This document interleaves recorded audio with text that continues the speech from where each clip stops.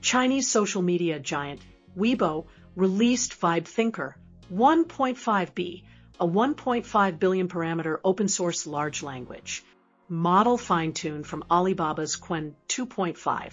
It's available for free commercial use under the MIT license, with a technical report on AR14. Despite its small size, VibeThinker 1.5b delivers benchmark-leading reasoning performance in math and coding, rivaling or surpassing models hundreds of times larger, including DeepSeek R1 671b and Mistral's Magistral Medium. It even competes with Claude Opus 4 and OpenAI's GPT, OSS. 20b, what's striking is the cost. Weibo spent only $7,800 on post-training, showing that high performance doesn't demand massive budgets. The spectrum to signal principle.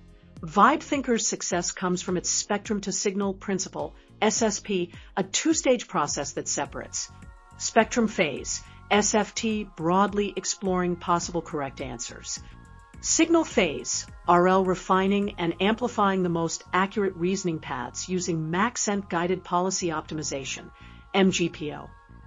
This design helps smaller models explore reasoning space efficiently, reducing dependence on scale. VibeThinker matches or exceeds far larger models on structured reasoning, though it trails them in general knowledge. An expected trade-off for smaller architectures.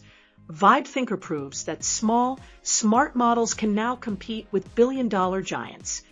Thanks for watching. Hit like, subscribe, and drop your thoughts below. See you next time.